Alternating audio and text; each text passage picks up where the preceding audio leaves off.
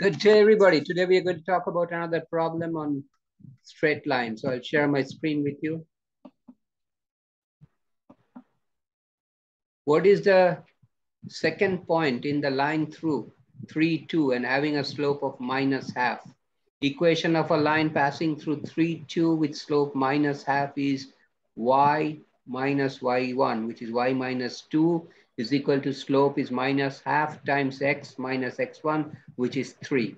So if we multiply both sides by 2, we get 2 times y minus 2 times 2 is 4 is equal to minus 1 is distributed to x minus x and 2 minuses make it positive is plus 3.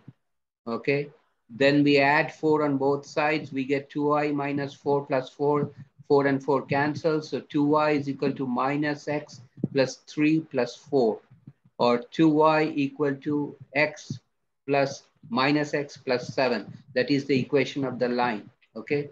Now we will try each of the points. So we start with uh, option A in which x is 2 and we plug it in, substitute it in and we get 2y is equal to minus 2 plus 7 which is 5. So y equal to 5 by 2 does not match with answer A.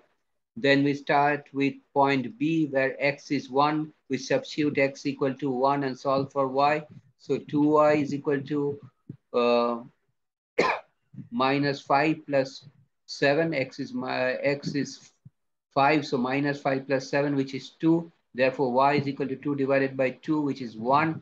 Does match with answer B. So the point 5, 1 is the second point on the line.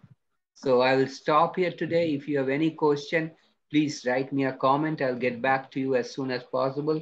And then again, please subscribe to my channel by hitting the red subscribe button at the bottom right corner. And uh, I'll come back next time with another problem, another solution. Thanks for watching. Take care. Have a nice day. See you next time.